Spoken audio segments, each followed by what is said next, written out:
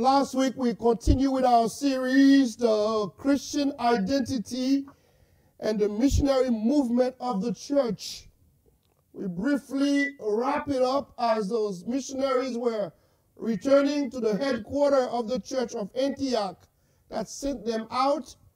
And just as we were watching also the students and faculties and professors returning to the classroom, but these had to return back to headquarters with the report of what they have witnessed through their ministry that God Himself has done. Uh, those missionaries have also given God praise for every miraculous sign and wonders that they have experienced throughout their missionary journey. They took no credit to themselves. Uh, they grabbed, watch me well, grabbed no glory from Christ, but give it all up to the Lord, even as they testified to the church back home. I remember very well last week, we opening up the sermon by uh, recalling those uh, missionaries without passport, even to do a double entendre to our children going into the school environments themselves, our professors and teachers going to the school environment themselves as also missionaries of our time, but without passport to go into those environments and taking the gospel, taking the word to the world. We use an illustration as we opened up last week vis-a-vis the eight first minute of an airplane that is flying. The pilot ought to know one of the major law in flying is to know where you're going to land before you take off. We also spoke about the last eight minutes of landing. Just like the first eight minutes are critical, uh, we also spoke about the last eight minutes is important, as critically important as the first eight minutes. You saw it for yourself on national news yesterday. This 40 year old man who landed literally on the streets in a, a, uh, uh, a neighborhood in Florida with a very small airplane he was flying. And as the news media were interviewing him, he was so grateful. He gave the credit to luck that he survived. And at the same time, he admitted that he was that was his fault because he failed to check on the level of the gasoline in that airplane. Again, uh, we use those as illustration to fly with the sermons even on last week this morning. If you will give me the license to keep in mind the same imagery of an airplane, but now we have to use it very swiftly in the sense of telling you both wings. One is grace, the other one is faith, and without those two, listen, salvation will not take off, will not fly. In other words, is critical aspect of the salvific work of Christ is depending upon two things. When we go out in the mission field, in the neighborhood to do evangelism, to present gospel to our friends, family members, we don't tell them to do certain things in order to be saved. No, we look up to those two wings of the same airplane, grace and faith, and we watch those other two things that happen to an unsaved person that grants them the salvific gift that is from God Himself. Never from the presenter, never from the preacher, never from the pastor or from the priest. It's always from God. Salvation is originated with God Himself. The provision for salvation and its work brought to us by Jesus Christ. But the sealing and the keeping of our salvation is being done by the Holy Spirit. Let me repeat that. Very important here. God the Father is the source of our salvation. God the Son is the one who brought salvation to us in time and space. And God the Holy Spirit of, is the one who seals the salvific work of Christ in every believer until we see him face to face in glory. As we return now to the text in Acts 15, we have now encountered a different setting altogether. This is not a report as they were giving in the church of Antioch. Now the believers are encountering a challenge before them, and the challenge before them is now Gentiles begin to come by the hundreds. Gentiles are coming into the faith by the thousands.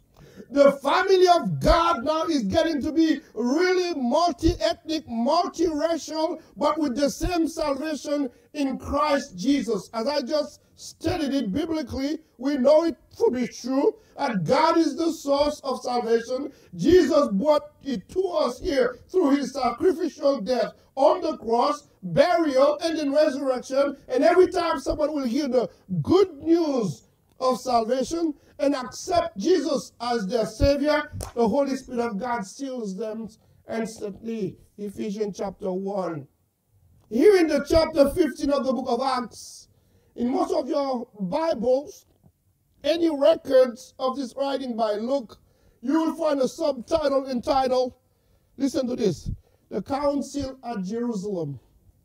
For the sake of our series, The Christian Identity and the movement, listen to me, the missionary movement of the of the of the church, we subtitles today's sermon as Grace and Faith Silence the Court. Grace and faith silence the court. Those two wings of the airplane I mentioned. Grace and faith silence the court. Uh, my dear brother, uh, colleague in the work of the Lord, I'm glad I had a chance to visit with some of the staff members this week and working out some of the details for future internship, working with some of our interns and together with their congregation. Chuck Swindoll has been very well known through his radio ministry, Insight for Living, but he was also a president of Dallas Theological Seminary and author of many Christian books.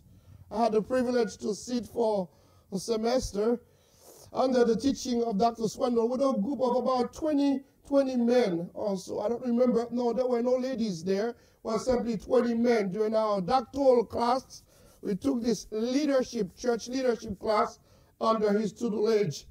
Uh, one of the encouragement that he will impart to us is the importance of the ecclesiastical body and the leadership of the church, primarily when it comes to the seriousness in the clarity of delivering uh, God's words, the integrity to the text, the dependence on the Holy Spirit of God, Listen, and the watchfulness for heresy that can invade any church at any time. I am indebted to so much. Never, never forget when we were sitting in class, he will come up with a stack of index cards to show us how he took times to literally drill in the text, pour his soul over the text, and then he does it weekly. And in a way that he's been doing it weekly for decades and sometimes dig into the original text. Why am I saying all that? He was one to help me to develop a real sacred fear and reverence for the holy records. So it was with Paul and Barnabas. They were not simply satisfied now, they have cruised through the Roman world with the gospel and they have covered many territories. Humbly, they return back home.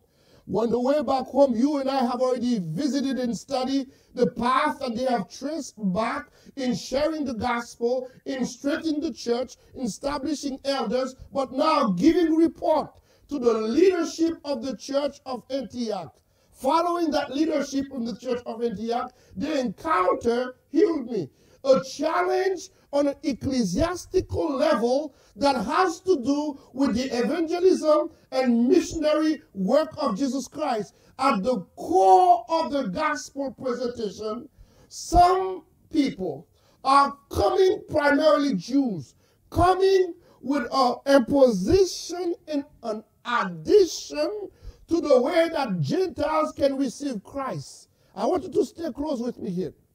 When we are talking about grace and faith, silence the court. I was so tempted to adapt from my mentor Swindoll, as I just mentioned here, he entitled this portion very often Grace on Trial. but rather than following it identical for the grace on trial, I just see, yeah, both of them are in the text. Grace and faith, if you will, silenced the court. The council were shut down, so to say, when grace and faith took the stand to say, no, it's by grace through faith. And I said to myself, no wonder Paul, standing in the court, standing before the council as one of the missionaries just sit now, not from Antioch to the mission field of Cyprus, to Lystra, to Icon. No, Paul and Barnabas were sent now, hear me well, as missionaries to discuss the issues and the challenges of the church of Antioch from Antioch back to Jerusalem. You need to take notice here. There is some serious debate among evangelical uh, scholars and theologians vis-a-vis this passage on today, Acts 15, when they place that parallel to the talk of Paul in the book of Galatians, as if Paul and Barnabas did not go to Jerusalem to receive authenticity of the gospel itself. They already received, they've already experienced in thought the authenticity of the gospel to throughout the Roman world, the places that I've mentioned. But this time, the discussion was to shut down men of heresy who wanted to impose their own Jewish law and tradition over the Gentiles as an aside to grace as an aside to faith in order for them to be saved. Stay with me here. The issue was not whether Gentiles can be saved. No, they have evidence that they can be saved already. The issue was not whether Gentiles can receive the Holy Spirit. No, they have evidence that they have received the Holy Spirit. The issue is that they must do what we do as Jews also in order for them to be saved. That's in what we call salvation by works. You have to do something in order to acquire your salvation. We know at the very core of this, it's heresy. Let's look at the text for ourselves. Acts chapter 15, verse 1. Look at the text. Some men came down from Judea. By the way, when we're talking about the Judea, it's the region. Embedded in Judea is Jerusalem. That, okay? Judea is the region, the county, if you will. The city is Jerusalem. Some men came down from Judea to Antioch. So, from the initial place of Holy Spirit coming down, birthing the church, the apostle, personal home base with the gospel, where the Holy Spirit came and identified every Christian and birthed the church initially. Judea, Jerusalem. They left Jerusalem, Judea. They went to Antioch and were teaching a false doctrine in the salvific ways. In other words, their salvific message had error in it. What were they teaching? The case is presented, listen to me, twice in this chapter. Don't miss that. The issue of the case that caused Paul and Barnabas to leave Antioch, go to Jerusalem to visit with the council is, mentioned, is presented twice. I don't want you to miss the issues. Verse 1, chapter 15, and verse 5, chapter 15, presented us the case. So you have some issues here. It's coming from outside with some men in the region of Judea. It's also coming from within the ranks of the brothers with the Pharisees who are pushing their points. You need to stay alert. Why am I pressing upon those important points here? Sometimes the heresy can come from people within the ranks of the church. They had an old teaching, they had an old preference, and they begin to slip it in as if now this is as important as you wearing an eagles, as you wearing an earrings, as you wearing makeup, as you do not wearing, do not wear long skirts, as you do not wear pants, as you all of these things are slipping them in and they are within the body. It can come as policies. It can come as protocols. But when you get to the salvific level, what do you mean by salvific? When that reaches the level of presentation of the gospel in order to be saved, you need to pull back. You need to pull back because you're flying over no flying zone here. You're touching non negotiables here. Look at verse 1 once again. Some men came down from Judea to Antioch and were teaching to the brothers. What were they teaching? Here it is. First case presented.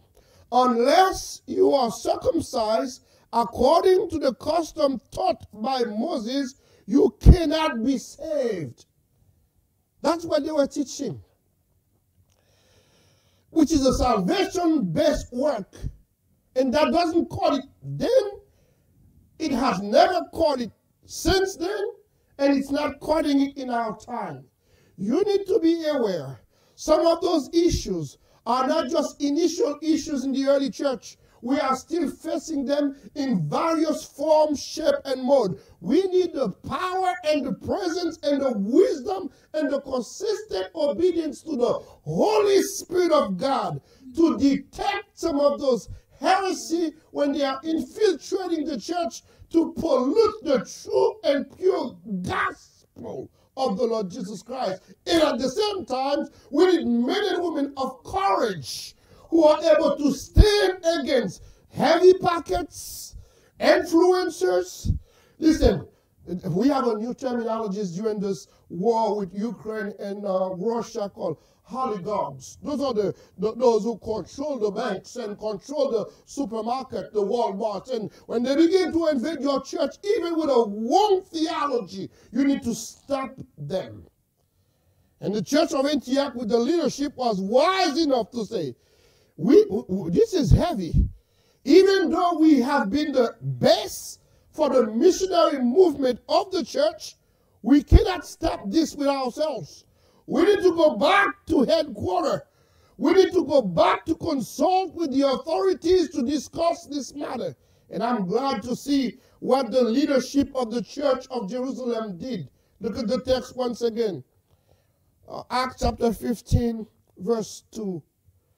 This brought Paul and Barnabas in sharp dispute and debate with them.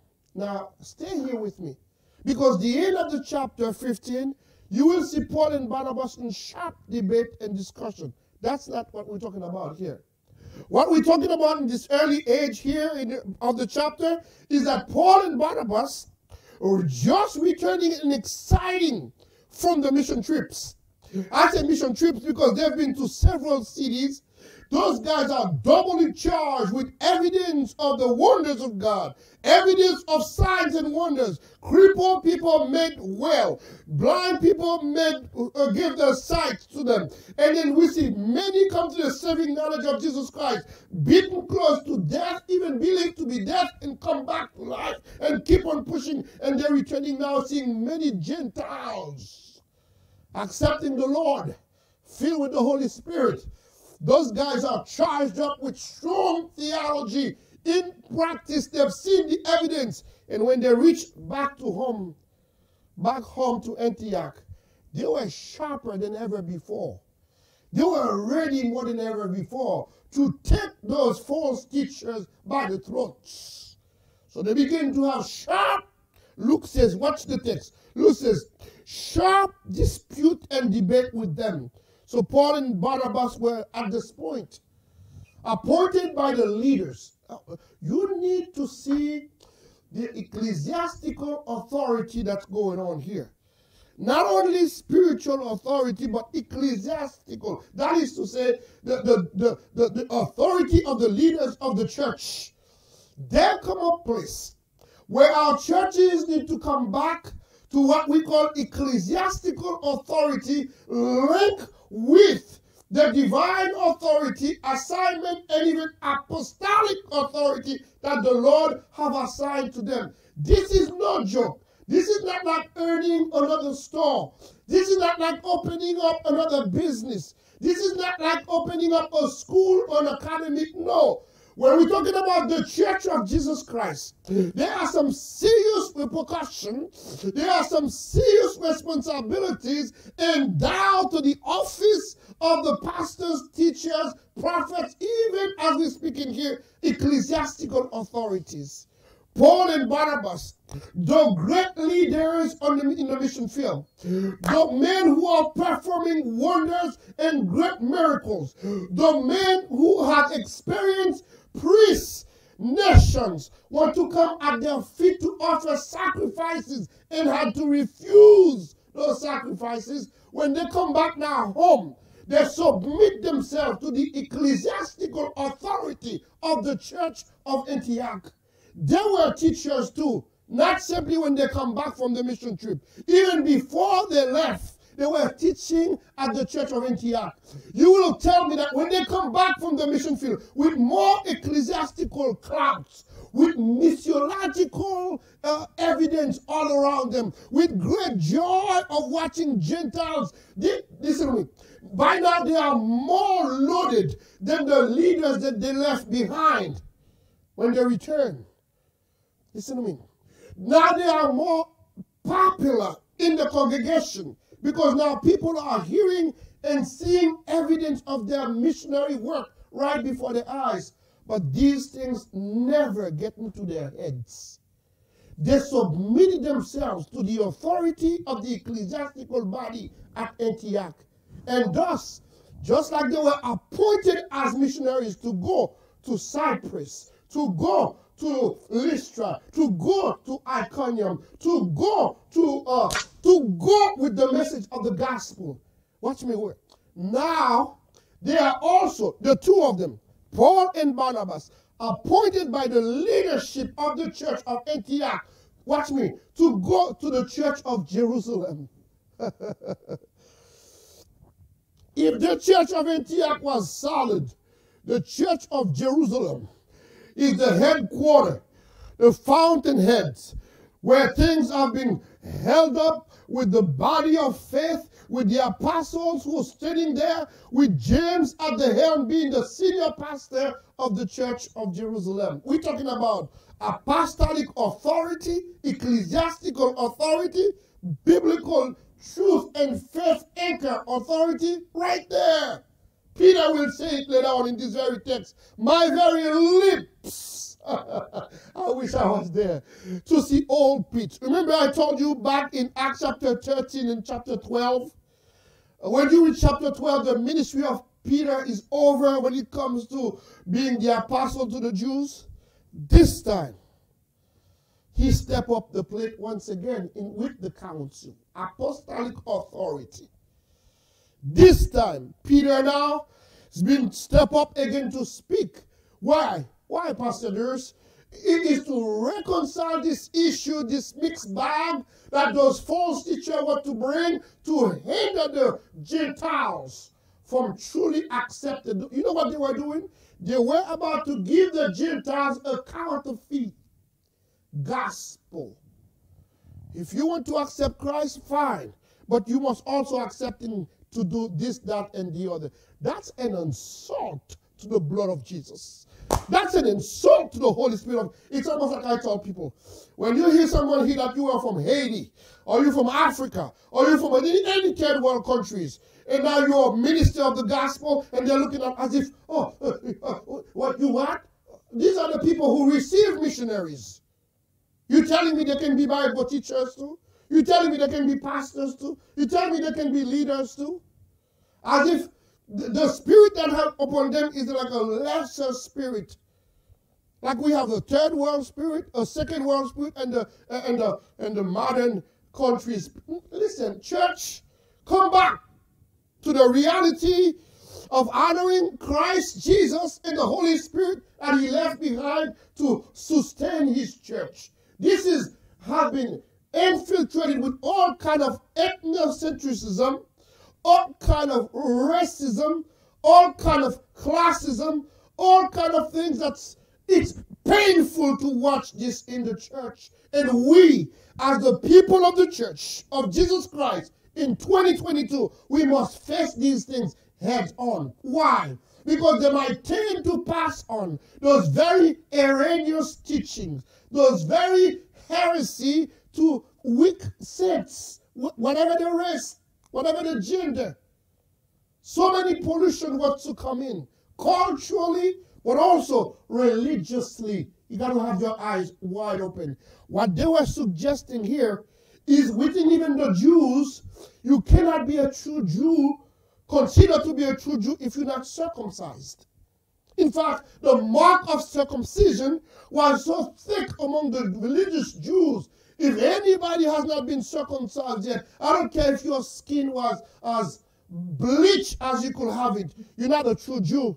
Because the mark of a true Jew from Abraham, Isaac, and Jacob downward, you had to be what? Circumcised. Paul himself is going to deal with this theological issue, racial issue, extra issue that will pollute the gospel very deeply, even in the book of Romans, letting you know you are proud in your skin cut as a circumcised Jew. He dealt with it in Galatians too. But the circumcision, the true one, is the circumcision of the heart.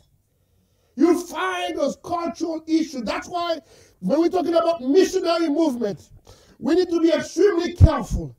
I should quote now because it is true it was said publicly and he has taught it as well. My dear brother and colleague and teacher from Moody Bible Institute Graduate School, Rick Calenberg.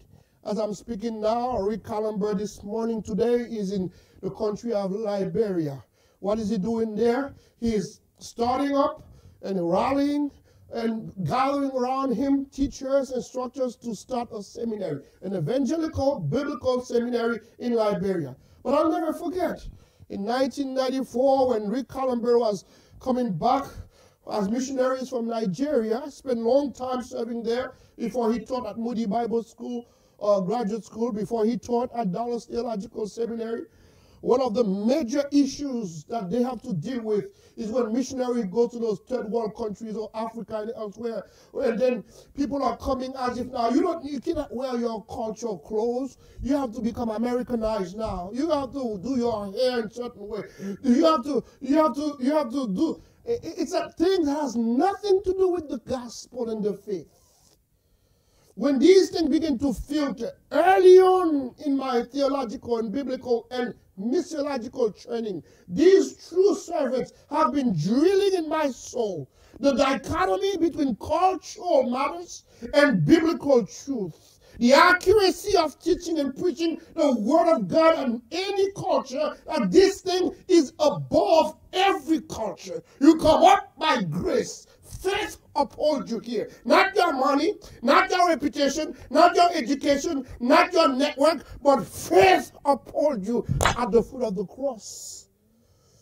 This is not just a new issue. The church of Jerusalem had to deal with it. What I'm afraid of is that our churches have been so infiltrated with everything else matter Black lives matter. White lives matter. But the gospel, you can do whatever you want because God is a forgiving God. He's a, you know, bring whatever you bring. Jesus plus.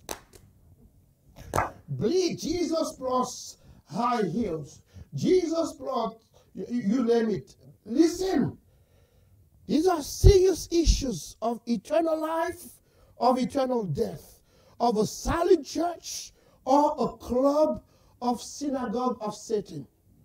You got people, I said last Sunday, they want to have the clouds, but they can care less about false doctrines and false teaching. Everybody wants to be politically correct.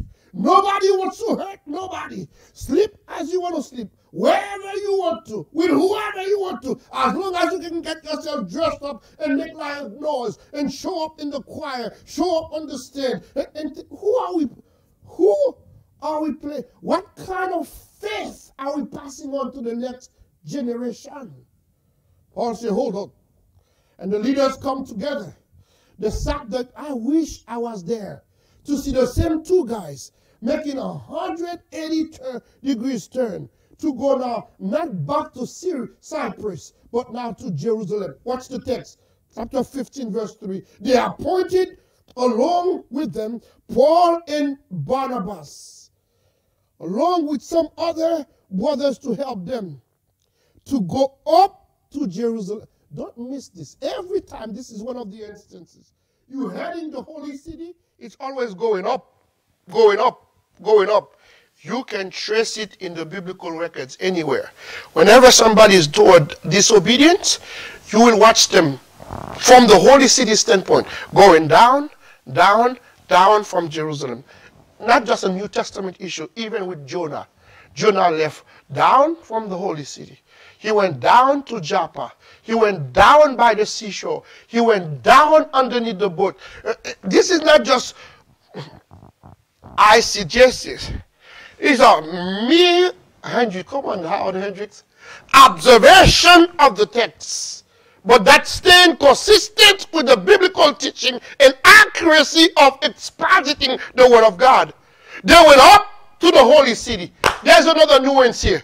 It's almost like when you're going up to the holy city, you're also going up to Zion, but not just the geographical location. You're looking up to the God of heaven and earth.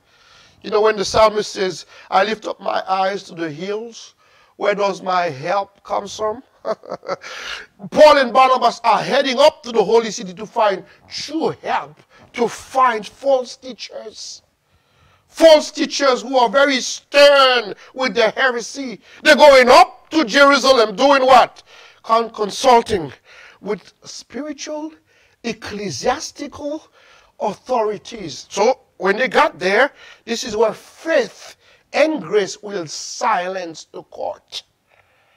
Chuck Swindoll will put it, faith is on trial. Hallelujah. But by the presence and the power of the Holy Spirit, faith and grace will always win. What does that mean, Pastor Duréus? We win.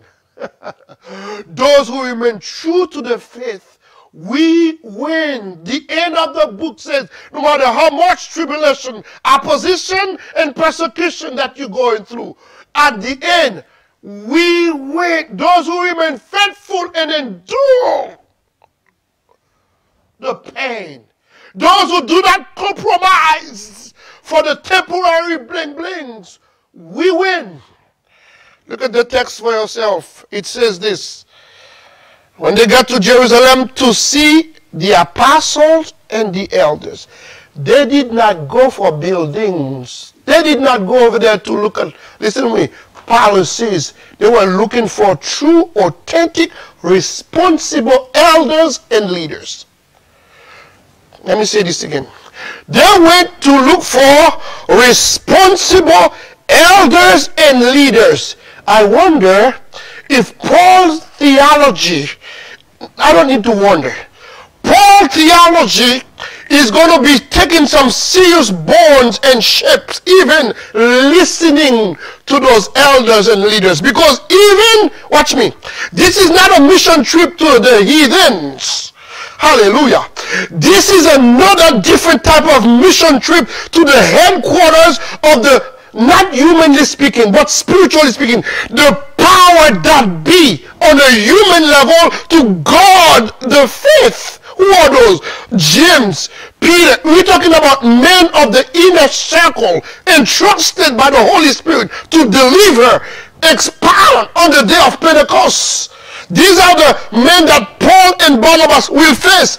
I, I wonder just by sitting in their presence, watching old Peter coming in now on his uh, uh, walker, trying to step up to take his seat among the council, and, and watching James humbly standing there to remember, I spent years with my brother. I did not even pick up on the faith until after he came out of the grave. But now the responsibility of overseeing not just the mother church in Jerusalem, but now we have a hub in Antioch that's growing. We're hearing what happened in Cyprus. We hear what happened in Iconium. The responsibility is getting heavier and heavier. But wise men who walk with wise men become wiser still. That's the book of the Bible, the proverb. You walk with the wise, you get to be wiser still. You walk with men who are filled with the Holy Spirit. You don't go after a Ouija board to find your decision-making process. No, you follow their process, the Word of God, prayer, and fasting. It has not changed even for 2022. Lately, the words has been marketing.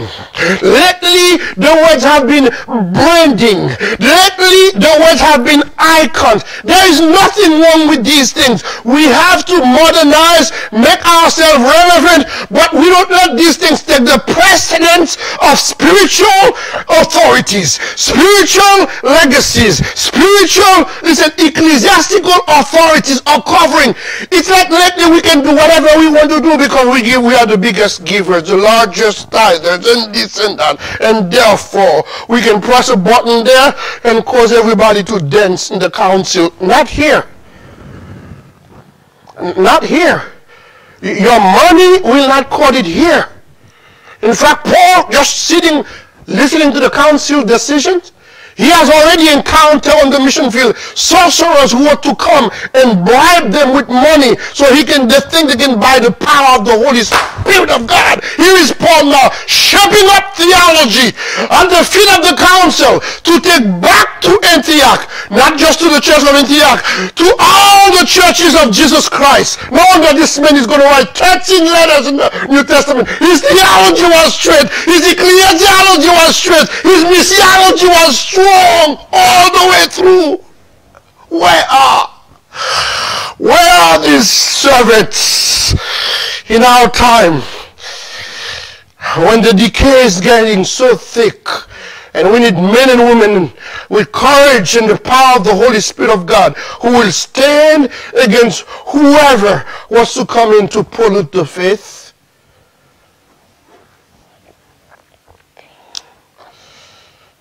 I want to submit to you, we have many among us still.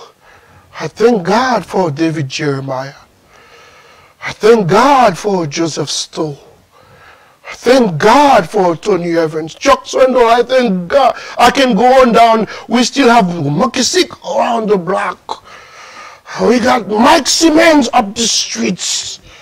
We got men who are coming and still sweating and holding on to the faith no matter, and, and men who's not doing it for the money, but defending the faith of our fathers, the faith of our Lord, the biblical truth, the essence of our gospel. Where is Cornelius?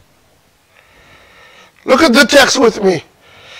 So they went up as Paul is shaping his theology, listening to the, watching how will those guys make the decision with those mothers.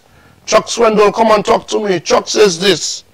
These guys were men who were devoted to hammering out of the emotional charged theological deliberation. Hallelujah. Come on, Swindoll. Say that again. Those are men leaders who are devoted as they sat to wrestle with the issues. They are devoted to hammering out of this emotionally charged theological deliberation. The court will be silenced by grace and faith. Hear me well, church. There must be a time that we stand for what is truth and what is right and what is faithful. God will reward the servants who do so. You don't fly for by every wings of doctrine, every flip-flop lips who can flip-flop and then go along with them. Uh-uh. You test the spirits. You put it up against the word of God. You swallow it if it's true. And if it's not, you blow it out and you don't even associate yourself. Those are dangerous viruses that are destroying souls. Many of our young people are out of churches by the time they reach college. You know why? They've been drinking too much Kool-Aid from some of those jokers behind some pulpit, playing games with their minds from infancy. That's what I will encourage the serious one. Teach them the word of God. Encourage them to read the scriptures. Tell them it's not weird to pray. Put God first in your life. It's not just a statement to put out there as to show people you know who God is. No. You will literally put God, your, your feet hit the carpet. You commit your soul to the Lord. for the whole day. You're coming back home, wherever you're coming, you stop to thank God. You spend time in taking in the word. This young girl just turned 14 this week. When I step into the place of the celebration of her birthday, out of all the things I heard, my heart leaps when I heard she reads her Bible consistently, daily. I said, no wonder she's doing well in school, in top of her class. People can make fun of her. They can call her elephant brain. They can call her all kind of weirdos. I said, honey, you be weird. I remember you were not even seven years old. I walked into your parents' home. I saw you laying on the couch with a Bible in your face. You're taking the word early. Those are weapons that will keep polluters away from you. You will know how to krino. You know what that is? Krino is the ability to judge, make right decisions. We need to train our kids to be in the Word so that even if Billy Graham will come out of the grave to give them to a monkey, they will say, Billy, you probably going through some doubt moments like John the Baptist who was in the prison. No, no, no, no. This is what the Word of God says. Oh, when Paul himself will come out, say, Paul, did you not say even if an angel will disguised as an angel of light, but preaching a different gospel, a mixing gospel, that angel itself is curse. But you know what we're propagating lately? Hey, if you do this, you curse. You are a witch doctor. You cursing everybody. You telling them to stay in a straight jacket. You don't want them to go out and hang out. No, the word says that there's an enemy who's out to steal and destroy their souls. Chuck Swindoll. Come on, Chuck, speak to me. Go after those jokers who are already part of his club. He got them already. He's after the kids who have a destiny so he can abort their future. I'm not going to let you go unsupervised. I'm not going to, if I'm dead, I'm dead. But I'm not going to release to the mouth of the sharks and the, and the lions out there ready to make you into a homeless. Why would I do this? And I'm still having the word here. Am I making, um, have I become a street performer? Or have I been given divine responsibility till death do you part? Which one do I respect and honor? Huh? The Church of Jesus Christ, His Word, His principle?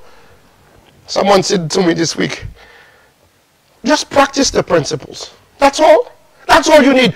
Practice the principles. Why? Principles do not change with times. In fact, principles know how to contextualize itself every time, everywhere it goes, so it can continue to stand as principles. So if you practice the principles, you're among the whites, you, you know you're kingdom kid. You're among the blacks, you're kingdom. You're among the black and white, you're kingdom. It's not ethnicity or environment. You're among the poor, you're a kingdom child. You're among the rich, you're a kingdom. Their limousine do not impress you. Their worst worry will not cause you to compromise. You are kingdom. You practice the principles. PP. Practice the principle. The biblical principles that I'm talking about here. And we need men and women, parents with backbones, to stand to say, as for me and my house, we going to serve the Lord. Not just in the family circle, in the ecclesiastical circle. As for me and my church, we're going to serve the Lord. You got your trash, I'm not going to mix you up here with the choir. Oh, you got your trash, I'm not going to mix you up here with the deacons. You got your trash, I'm not going to... Listen, come on in just as you are. But when you come in, there is a standard. Let me put it this way. When you come in just as you are, there is a biblical standard that you have to come up to. You don't bring the values low to the ground with you. We're all hanging out. Everybody has a pass. Everybody. Listen. Jesus knows that everybody has a past. That's why he came. He did not come after you met him and use his blood and his spirit on you to take him back to the vomit. That's an insult. And I'm talking to leaders too. These are leadership circles right here. The Council of Jerusalem, listen, that's why Swindoll said it again. Devoted men not devoted disciples. Those are devoted, courageous, spirit-filled leaders. that are hammering. You know what hammering means? They budge themselves. We're not going to get off this meeting until we hear from God. I'm not going to play with this because the bride is in danger. It's almost like a scientist said, I don't care. I'm not going to go home. I'm going to stay in the lab until I find the antivirus to kill this virus that's killing the whole world devoted leaders, courageous leaders, men and women filled with the Holy Spirit who's hammering out of the is emotionally charged. Sometimes the, the devil will even let the emotion, the cultural, the ethnic or the racial issue be so charged up. If you're not devoted to Christ, you give in to the culture. You give in to the ethnicity. You give in to the elitism. You give in to the money. You give in to the skirts. You give in to the connection. You give in to the denomination. And you begin to act like them, like worst dictators of the yesteryears. We need men and women who are devoted to Jesus Christ, to the affairs of Christ and his gospel. Look at the text. It says this. When they came to Jerusalem, they were welcomed by the church. This is not putting flags and confetti, throwing fireworks. No. Look at the how were they were welcomed by the text. Watch the watch the text here. They were welcomed by the church and the apostle and the elders to whom they reported everything God had done through them. Can, can I tell you what's going on here? Paul and Barnabas got back to Jerusalem. They get so excited. They begin to tell the leaders and the elders, man, the church in Antioch now has a second floor. The church of Antioch has a backyard where we can play basketball. The church of Antioch has a, a swimming pool where all the children now can. The church of Antioch has a lawn that is so green. Even in the winter time, you can see flowers coming. The church of Antioch have lights now. You can have lights while the pastor is doing jumping jacks and everybody's in the presence. Is that what they're reporting? No. Let me submit to you. In the middle of spiritual, spirit-filled, courageous leaders, you don't come with cotton candy to make them excited, to forget how to make rational, God-given decisions. That's what's going on here. Paul and Barnabas begin to give them the report of what they see, how Gentiles are turning from idols and accepting Christ and being baptized and become elders. On the return from the short-term trip, they are appointing them as elders. How Christians are becoming, listen, solid prayer warriors. How in Lystra, they beat him up to death. He could have died and they thought he was dying. But those new converts disciples join their hands together they circle him and pray and then he got his strength he got his life he got his health back to get up the next day. When the leaders of jerusalem begin to hear those you know what those kind of report does to the leaders? He recharged them. Now this is not just promises anymore. We are hearing evidence of the faith. By the way when the senior pastor of this church here in Hawaii. He was showing a demonstration recently. In fact, my dear brother from Chuck Swindoll's church this week just introduced me to that great teaching. Listen, dead leaders running. You can Google it for yourself. Dead leaders running. And he's showing you one of his illustrations where you can have somebody, the moment you meet them, they just fueling you with encouragement. And you feel as if you are airborne now like an airplane. But you can encounter some other person, it's like an, a big flat tire in your tire. Air is going out. Energy is leaving you. Frustration is golfing your chest. Discouragement want you to quit the ministry. Why? Because they're looking at lawns, lights, bling blings. They can care less about the Gentiles that are coming to the faith of Christ Jesus. That's not what they see. Because you need eyes of faith to see people who are hungry for the gospel, teenagers who can live their lifestyles to become, listen, young Timothy in the church. You need mind of Christ to see this young girl with spiritual potential. You need to have the spirit of God in your soul to see this young man means business with God. This is not a joker or player. So let me encourage you the leaders in Jerusalem begin to get refueled by those two guys, even though those two guys, Paul and Barnabas, is coming to look up to them for ecclesiastical direction. Look at the text for yourself. It says that when they saw them, they were glad, they were happy, and they received them with, they welcomed them. And here's the second issue, verse 5. Acts 15, verse 5. I show you the first issue presented in verse 1. The second issue is now within the ranks of the Pharisees in the church, men who know the law inside out. The Pharisees, they were not stupid bunch. Those were the brains who can flip every word in the law of Moses and tell you what it means. Those were the teachers of the, of the time. They know it so well, they become so hypocritical with it. At some point, they can forget God and give you all the Greek and the Hebrews. When they say the Pharisees, it's not just because these guys hate God or His Word. They know it so well, they can give, leave God to the side and start running with the laws. Verse 5. Then some of the believers, don't miss that, some of the believers who belonged to the party of the Pharisees stood up and said, the Gentiles must be circumcised and they're required to obey the law of Moses. You get that? So trouble is stirring up in Antioch.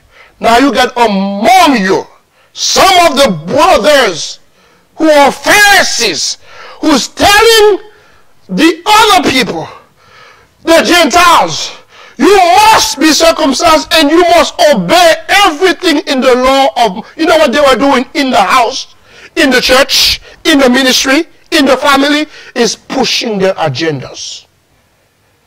They were pushing their agendas against the, by faith, by grace through faith, purity of the gospel. So when you have those undercover in your midst, and you want to compromise to let them do what they want to do, that's how you can turn a church into a synagogue of Satan. And by the time Jesus comes to inspect, he says, man, I know your deeds. I know you love the word, but you have left the teaching of the Nicolaites take over. You have left the teaching of the heavy packeters take over. You have let uh, the teaching of the favoritism take over. The teaching of the racism take over. The teaching of black gospel, of Hispanic gospel, of Haitian gospel, or of Bula Bula take over. And you override the pure gospel of Jesus. Look how they're going to respond. This is where faith began to prepare herself to take the stand and silence. This is where grace is about to rise up from the other side to say, uh-uh, you come through this thing by grace through faith. That's why I said, I wonder when Paul is listening to that, the theology, the Pauline fibers are dropping up, taking their position in his soul by the Holy Spirit. So when he can go back now, listen to me, to a third hub of church in the woman's world, the church of Ephesus. He can go back now to write to the church of Ephesus, Ephesians chapter 2 verse 10. It is by grace through faith. It is not of yourself. It is a gift from God. You got it. You cannot give what you don't have. And you can only give what you have. You have a false gospel, false gospel you will have. You've been compromising all your life. It's time that you repent and get the true deal. Drop the trash. And all those you've been misleading, tell them, confess your soul. It's okay to confess You will be free and they will be free too. Look at the text for yourself. And it stood up. It says in verse 6 the apostles and the elders met to consider this question. What question? Number 5 and verse 1. Verse 5, verse these are the two questions. Inside, notice what Luke is doing. Luke did not tell us the council started to handle the situation when Paul and Barnabas arrived alone. No. Luke began to tell us the council began to handle the situation when Paul and Barnabas arrived, but when the inner secret agents begin to pull their agenda up, then the council big up under the wisdom of the Holy Spirit of God to, watch me, krino. This is where I've come up with this Greek term, and it's true. Judgment, decisiveness of devoted, spirit-filled leaders. These are not arrogant people. These are men who are guardian of the faith. They can be of any age, but they simply need to be filled with the Holy Spirit of God. They need to be all in it for Jesus. They cannot be in it for Jesus in the organization. Because sometimes they can ask you for your tax rights back. If they do, would you continue to preach the gospel? If they fire you, would you quit and go for another job? Or would you keep on preaching the unadulterated gospel? Persecution is coming in America. Where you will not be able to stand against certain sin. Who would you choose? What side would you be on? This is as relevant as you can have it as a sermon, as a series. Whose identity would you be ready to flip the gospel to so you can survive or so you can continue with the administration and Jesus is being kept out. The truth is being kept. The gospel is nowhere to be found. I wish I could tell you how many churches have left the gospel behind long time ago. Horrible shutter. This is, uh, by the way, when I'm talking about a book from my pulpit, I don't get any commissions for them. I just thank God that we can be a mouthpiece. This brother here by the name of Jared C. Wilson, gospel wakefulness. Man, this guy has made a dent in the evangelical church in asking us to stick with the gospel. Watch out and keep your eyes on the true gospel. Able to train your spirit to even detect the spirits of the last days, which is not about the work of Christ. If the missionary movement of the church need to keep on moving purely as church Jesus Christ is returning for, we better, we better take an evaluation to see what in the world are we teaching from the sacred desk. Is it the gospel or Walmart's strategy? Is it target expansion strategy? Or are we truly after soul with what can change them and has the power to change them? The gospel alone. For Paul will say, I'm not afraid of the gospel. I'm not ashamed of the gospel. For it is the power of God unto what? Salvation. Your mother cannot give it to you. Your daddy cannot give it to you. Your organization cannot give it to you. But the Lord Jesus Christ is giving it out there freely like free bread. Get your fill. Get your, get your stomach filled. Charge yourself. Receive again. The gospel is free. Get it. Get it. It's by grace through faith. Look at the text. It says that when they begin to discuss the issue, Verse 6, the apostle and rulers met together to hammer out this emotionally charged issue after much discussion. You see the word much? Circle that. This is why it's not a little joke. They just crack among themselves and they get up to give the, the final decision. This is what grace is about to stand up, to speak out. After much discussion, Peter got up. Everybody says this with me. Peter got up there is a moment you cannot stay on the bench. You got to get up and speak. Peter got up like he did on the day of Pentecost. This is where Peter is getting up with the staff in his hand. Listen, look as a physician I can see the old man trying to get up from his wheelchair and trying to pull up his old bones to try to straighten himself out to stand up. Old Peter got up So before he can even say a word, listen, let's take a look with me. John W. Stott would say, Edsel, take them there. Let, us take a look with me. Even to get the strength to stand up require a lot of energy. So he finally got himself up. He took a little silence first. He got on his breath. Peter got up. And when he got up, he had, he addressed them. Listen to the words. Brothers, you need to hear what I'm about to tell you. Here. It's heavy. You take Peter, you take James, you take John. Whenever those guys are about to make some heavy duty decision or drop some heavy duty biblical non-negotiable, they always preceded it with the words, brothers, you read the book of James. In fact, the word brothers in James, those are the three inner circle disciples with the Lord. One of them is going to take stand right there, Peter. That's the preacher of Pentecost. The other one is going to be James, the senior pastor of the church of Jerusalem in this group. I wonder what was John, the youngest one, still standing around watching how all the older, elder, respected brothers will speak in the face of serious opposition against not an institution, but against the movement of the gospel of Jesus Christ. Peter stood up. Hallelujah. Holy Spirit, help me. Help me to stand. There is no time to back off or to run for safety. Help me to stand.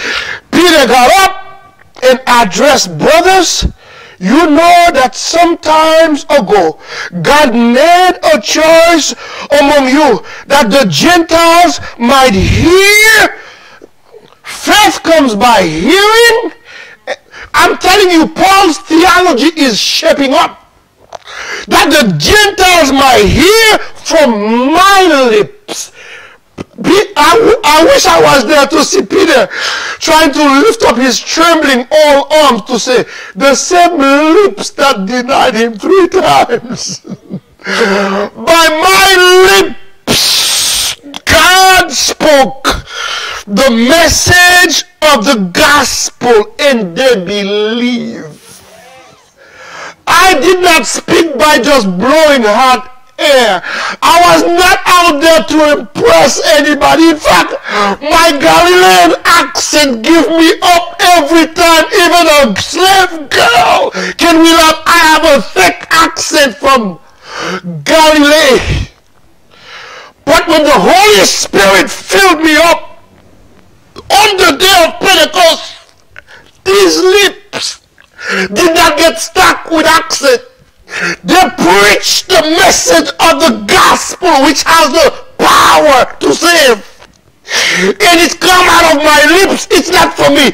It's come from the source who sent it out through my feeble lips. If I stop to my lips, I can tell you these lips can only deny Christ. But the power that I've been identified with on the day of Pentecost made these lips a witness to make disciples.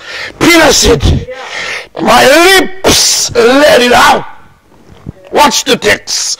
My lips let it out. This is not lips denying anymore. Don't keep on using your ex, your past as a cover up to do what's wrong even in the church. If your lips have been converted, let it be converted all the way. If your mind have been changed, let it be changed all the way. If your feet have been changed, let it be walking with the faith, walk with righteousness, walk with the Lord. Let your body, we read it earlier from the book of Romans, be a sacrifice that is offered up unto the Lord. Out. Look, watch this. Let them become anointing to tell people, I don't care about the anointing. I'm going to tell you who Jesus Christ is. Let your lips, let your hands, may I say it? Let your hair becomes a billboard to attract people to the gospel of Christ. We're not talking about legalism here. We're talking about I'm all in because I'm a sacrifice on the altar for Jesus Christ. Peter said, look at the text. I don't want to look like the world when I'm in the saints, among the saints, and I am a saint. Why will I be going back out there to cause people to misunderstand my life, my destiny, my character, my values? Why? Why will I be standing up my neck with all of those nonsense to make people look at me down and destroy my self-esteem? Why will I go among people who are already racist and set myself up for them to express their racism and destroy my soul for me? I cannot be paying big money and giving people my soul to destroy for me and make me inferior and act inferior and remain. I'm getting big, but I'm becoming a baby inside because my inside is being destroyed. Sit down! Disrespectful. Be quiet. Uh, sit down. Uh, be quiet. Oh, not you. they laugh at you. They just, they're trying to destroy your self-esteem and you come out of there, you got a piece of paper, but you don't even know your name. You don't even know who you are. You cannot make rightful decision anymore, but you got money, you got paper, you got title, you got position. We call it systematic, systemic racism. How do you detect that? By the power of the Holy Spirit. And to condition your child, to condition your partner, to condition your friends, to condition the church, mm-hmm, to see through that and don't expose yourself to be taken advantage of. Eh? When you hear those truths, this is not people getting on your nerves. This is people who really care for your future. And when you get there, you are supposed to be leading the office. You are the one picking up the trash now. You are the one sweeping the floor. And then you're going to hate the person who was trying to supervise you, guide you, fund your life. Come on! Uh, go back to the text. Doris, you left, you, you're meddling now. Look, look at the text. It, says in the gospel here, verse 8, God who knows the heart show that he accepted them by giving the Holy Spirit to them just as he did to us. You know what that means? This is where I get the statement I make all the time. The Holy Spirit of God doesn't have a copy of himself that is inferior for the people from Africa, lower for people in Haiti, down the street for people from Jamaica. No! It's the same Holy Spirit it is an insult to the gospel when you hear any racist mind look at any ethnic group serve individual to treat them as if they are the next witch doctor because they were not born in America because they have a Galilean accent and they are willing to look at them as if, yeah, I'm not sure if you're really saved. I'm not sure if you're even practicing something in your pocket. I'm not sure you might be having the gospel here or something else. It's an insult to the Holy Spirit of God when these kind of things are still alive and well in mission field, in conference room, in boardroom of major organization. We cannot take the gospel to the world and treating saved people in such a manner. Hear me well. If they are mixing the gospel with voodoo, stop. Confront them. That's what Paul and Barnabas doing there. It's not voodoo. They're, they're, mixing the gospel with Jewish practices, circumcision, the way of Moses. This, the same way they handle this, if they're still sleeping with someone that's not their spouses, their breast is all over the world. And they're coming next second and covering up. The, I'm Elder Sonjo. Tell them, cover the other breasts. You cannot be on the streets like that with no decency. And then you come in, you, you, you're showing up among people who are devoting themselves to the Lord and what we call elder uh, minister. But listen to me. We're not popping legalism, but we're popping the truth. And the gospel transform lives. He takes ex-terrorists, Paul, and make him an agent in the church, a leader in the church. Same Holy Spirit, and Peter is testifying. This is Peter speaking still. to the leaders, to the council. Watch this. He's not over yet. Verse 10. Now then, why do you try to test God? What's that? I'm sorry? Verse 9. He made no distinction between us and them. You see, us and them, this is what's ruling in the church now. You have us and them. You can go to a multi-ethnic, multi-racial church. You can still see the us and them game being played. I wish you could have sit in a staff meeting. I wish you would have get into a car. I wish you would have get into, tap into some private cell phone conversation to hear the jokes between the us and the them. And the Holy Spirit, who's everywhere, is listening to all of these things and watching the same people playing the game. When they pop up now public on the stage or before the camera, they're like, whoa, they want the Holy Spirit now to fill them up and then to talk to those multi-ethnic, multi-racial people as if they're on the same level. The Holy Spirit of God said, man, you playing, you playing, who are you playing with, them or me? What in the world is happening? Eh, verse 9b, look at the text. It says this, Oh Lord,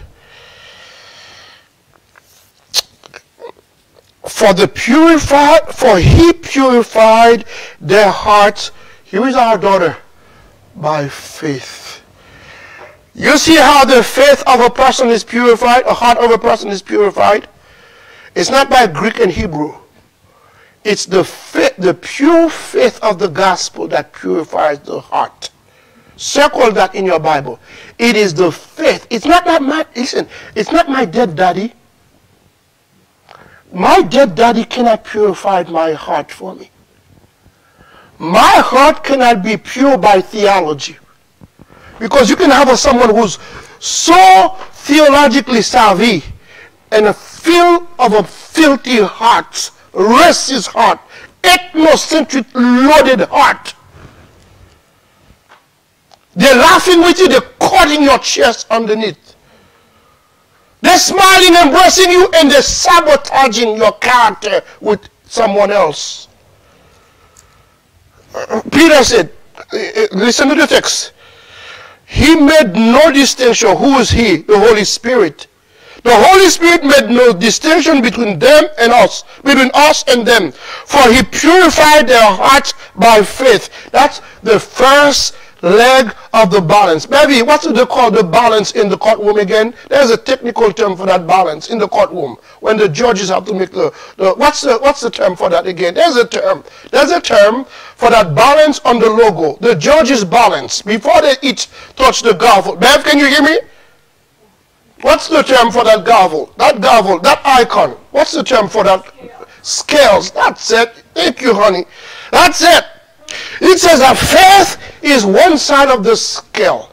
And grace will be the other side of the scale. But it says that faith does the purifying of the heart first. You see what Peter's saying here? He purified their hearts by faith. Verse 10.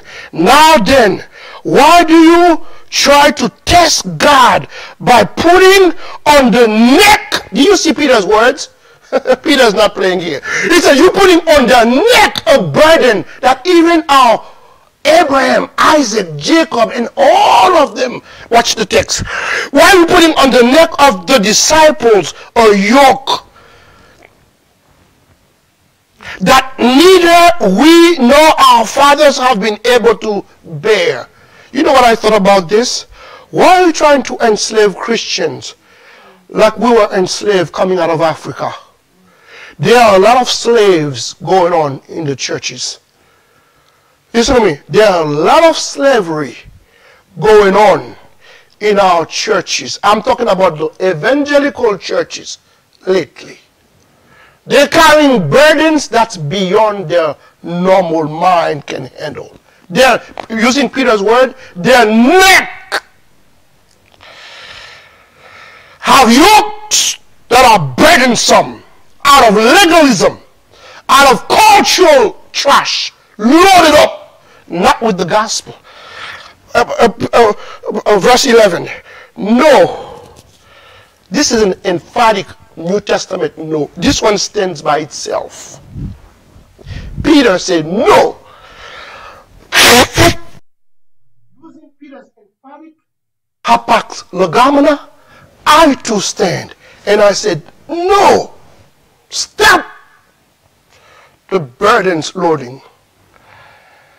It says in the text, No. We believe it is through grace.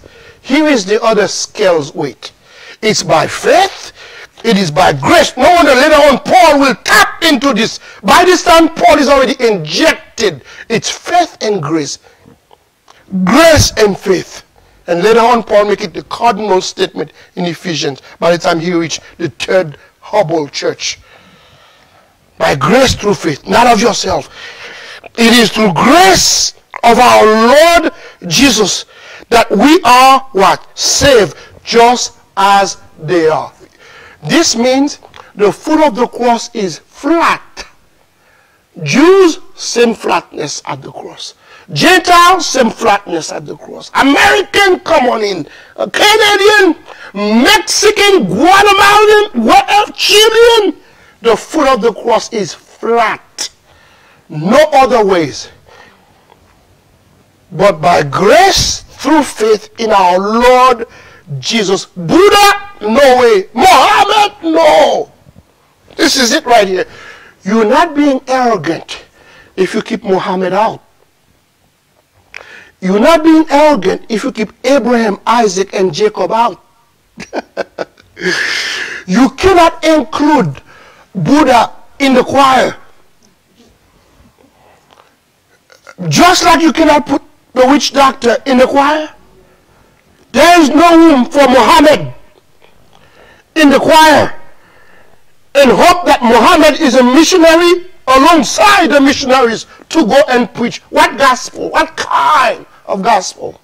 Please make the good judgments when it comes to leadership. Muhammad is welcome. Buddha is welcome so that they can find Jesus Christ. This young man who just died maybe three years ago, he wrote the book Seeking Allah, Finding Jesus. He used to be around with Ravi Zacharias sometimes back. He died with a terrible cancer. Seeking Allah, finding Jesus. They can be seeking whatever. Let them come in. But use whatever they're using as an outreach attraction. Don't let them sit in there too long. Give them Jesus. Otherwise, they're going to become a virus in the mix. They begin to do their own mission trip, feel, and activities in your midst. You've got to be alert. And the Holy Spirit of God will make sure He warns you to know when they're in the midst. So that the Pharisees can become true believers in Jesus. Peter said, just like we are. Then the whole assembly became what, church? This is where I said, grace and faith silence the court. You know what assembly now we're talking about? Look what you to know. The team from Antioch is silenced because now they got it. The team within the ranks, the Pharisees, everybody quiet. Why? Grace stood up. Faith has spoken. Jesus is on the throne. Faith stood up. Grace has spoken and Jesus is on the throne. Everybody quiet. And they listened to Barnabas and Paul telling about now the miraculous sign and wonders that God has done among the Gentiles through them. When they finished, James now spoke up. This is the senior pastor of Jerusalem. After Paul and Barnabas gave the testimony after Peter came out and settled the deliberation. You can listen to me. Peter just set the deliberation in the court. And grace stood up. Faith stood up. Silence. And James said, now I can talk. I got something to say. Paul, you through? Barnabas, you through? Guys, let's clap. The Holy Spirit of God, sign wonders and miracles, just like he had promised. These guys saw it on the mission field. Now James stood up and spoke. Listen to. Even when James stood up to speak, I want you to see the respect. He's going to give precedence to what Peter said. And let me see what I'm saying here. When you're doing serious theological research or writing, you always make reference to some other intelligence or respectable character in the field ahead of you. That's why you do research. You don't just pop out with some new things and you start dancing everywhere as if your work now is substantiated by nobody and then you out there like an authority. No, he, you are in any serious field, whether in the medical field, theological field, engineering field, you always appeal to an authority in the field that have gone before you. Watch, watch, watch James. He stand to speak, first word out of his mouth. Brothers, same thing. I told you that strategy already. Brothers, listen to me. I love to say this word when I'm preaching. Listen, listen to me. Simon, he's appealing to authority. Simon is in the midst. Simon, respect for the respect for leadership. Can I say that to you? Respect for his position. Respect for his authority appealing to, even though he's an apostle too, he's appealing to apostolic authority to make his statement. You don't know. When you do that, you're not just speaking on your own or by yourself. It's almost as if the president of the United States of America is about to speak, but behind him, he has this congressman, that congress. Why will he have to? No, he's saying, I got power more than my office with me uh, sometimes they just want to just take off and then before you know nobody knows who they are. They've been to no one's school. They've been trained nowhere. They've not even been in a Sunday school class. They don't even know where John 3.16 is. They want to take off. I'm saying, who's teaching our church now the importance of respect for elders, for parents, for teachers, for principal? This is not just in church. This is everywhere. It begins in the home. They begin to disrespect in their parents, their mom, their dad, their older brother, their older sister in the home. Don't expect them to have respect for the police on the streets, for the teachers in the classroom, for the principal on the campus, for the law of the land. They can get to the White House. They begin to, to, to take home with them. Listen to me. Classified information. Why? Because they have no respect for the office, no respect for the Supreme Court, no respect for the law of the land. They swear before the Constitution, no respect for the Constitution of the country. Why? Because they felt that even way back at home. Everywhere they go, arrogance take the, to the lead. Money, when I, they cannot get to be arrogant, manipulation is playing until it wants to raise its ugly head. James said, brothers, he addressed everyone as equal. But now he pointed out among everyone, Simon has described to us Watch this. He passed by the human realm now. He goes higher. How God, his thing has nothing to do with Simon. It was God who's been tested when they put the yokes on the Gentiles. It was God's salvation who's been polluted. It has nothing to do with the church. The glory belongs to God. It's to the praise of his glory. When you let them do whatever they do, you are testing the glory of God. You join with them in polluting the favor of God, the glory of God, the majestic awesomeness of our God. This is no joke of a responsibility. It's the God who made the heaven and the earth and kept everybody alive by breathing, who has this responsibility. When you let this down to the floor, you're not testing the senior pastor, the bishop, the institution, the organization, the denomination. You, no, you're dealing with God's character. Watch this. James went up past Peter. When Peter described us how God, at first, that's where he belonged. Listen, uh, God is the head of my life, but is he the first in your decision-making process? Is God the first in your home? When you have to make a business transaction, You have to write a number. You have to write a tax report. Is God first? I'm talking about just like what we're talking about here. This is an ecclesiastical, doctrinal, leadership, missiological sequence. God, at first, show his concern by taking from the Gentile a people for him. So, you know what that tells me? Ecclesiastically, missiologically, evangelistically, every time someone comes to Christ, it's God who takes them out of the Haiti for himself, out of the Jamaica for himself. It's God who's broken the. You know what that goes? This goes right with the motto of our church building unto our God a kingdom of priests from every nation, every tribe. It is God. Nobody can call them to God unless God take one for himself. And so we make ourselves available as gloves in God's and to say, God, who do you want to take from Walmart today? Who do you have in the hospital floor today? Is there somebody in the law school today? Is there someone on campus today? Is there someone on my streets in the dry cleaner in the wall?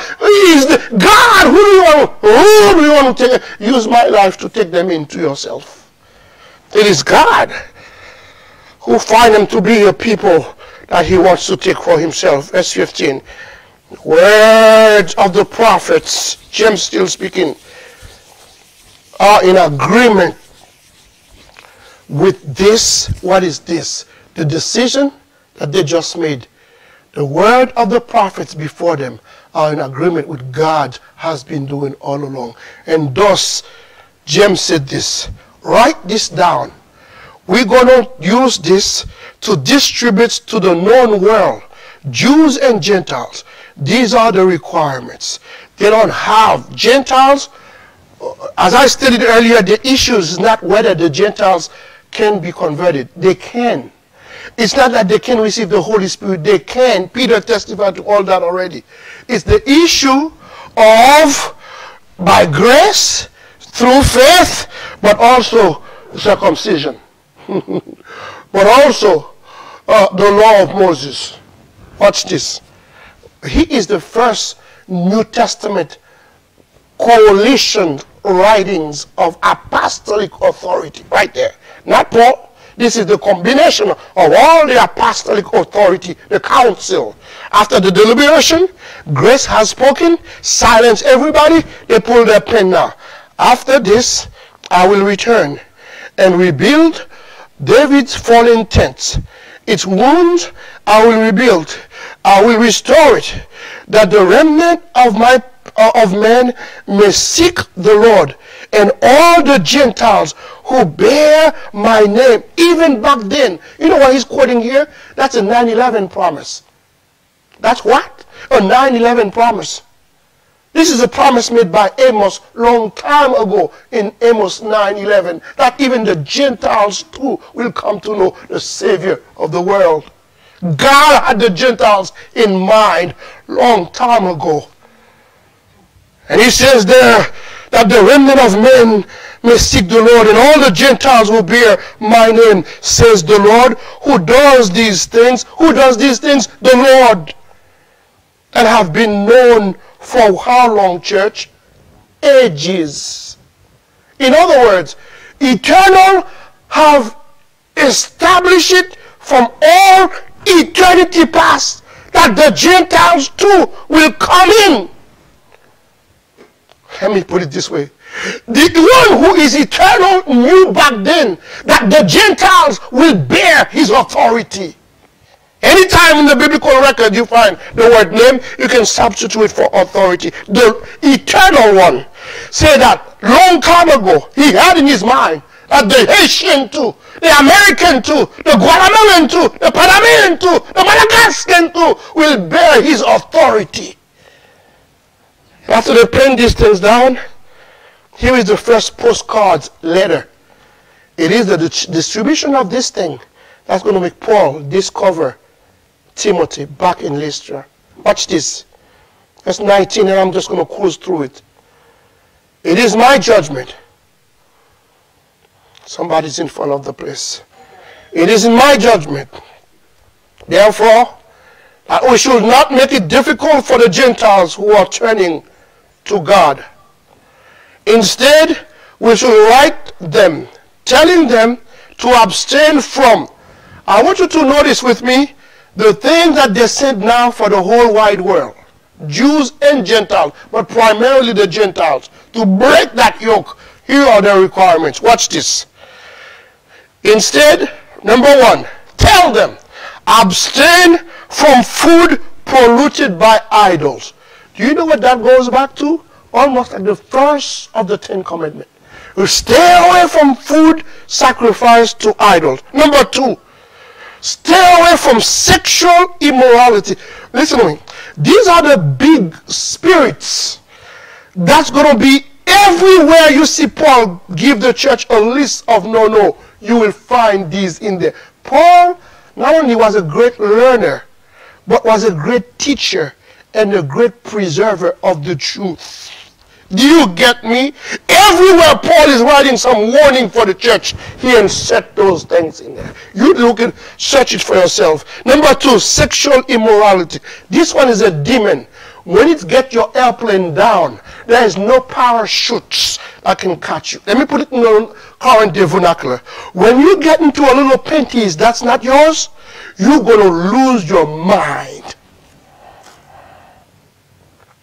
When you begin to let your breasts shake up all over town, and then you are, I don't care if you are in a five-star hotel, nobody sees you.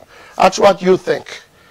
Paul did not, James did not, the council did not put this here together because they wanted to, we are in part of this ULM council. We write policies. We are the guys who go to policy makers for the church. And look at the text. Sexual immorality, stay away from there. Number three, stay from meat that have been strangled in animals. Number four, don't eat blood. And then he wrap it up by doing the same thing. Appeal to higher authority again. Watch this. For Moses has been preached in every city.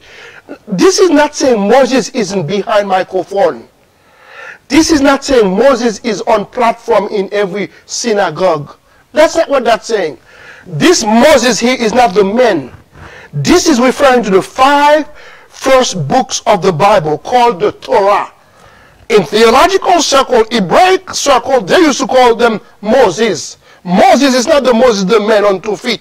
When they say Moses has been preached in every city, that is to say, the first five books inspired of the Bible Genesis to Deuteronomy have been preached in where? Every city. He did not stop. Listen to this again. And then he says, Moses has been preached in every city from the earliest times and is, listen to this, read in every synagogue on every what? Sabbath.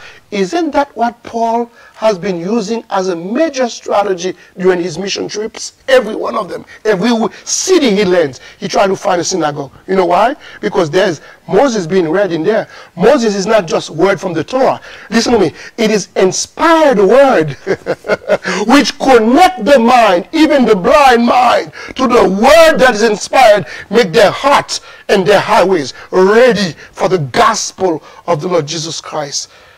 When grace and faith silenced the room, silenced the court, they did not silence it for them to go out arrogant. They were going out for more Gentiles to come to know Christ as their personal Savior. They did not out, they were not out there collecting slaves to salute them, to serve them. No, they were out there to deliberate women, to deliberate children, to deliberate slaves, to deliberate Gentiles, even to deliberate Jews from the law of Moses that even their fathers could not bear. What are we out there doing lately? Are we out there trying to make slaves with our titles, with our names, with our campuses, with our books, with our family? Or out out there to defend the gospel of the Lord Jesus? Are you funding a terrorist to go and sabotage the name of Jesus from your home? Is your home a sanctuary preparing terrorists to go and mar the reputation of Christ? Or are you raising men and women, boys and girls, church leaders who will honor the gospel of the Lord Jesus Christ no matter where they go, what they do, whether they eat or drink, suffer or fine. Are you raising boys and girls? I saw a group this morning out of an island where children barely can eat properly, barely can eat a full uh, complete meal.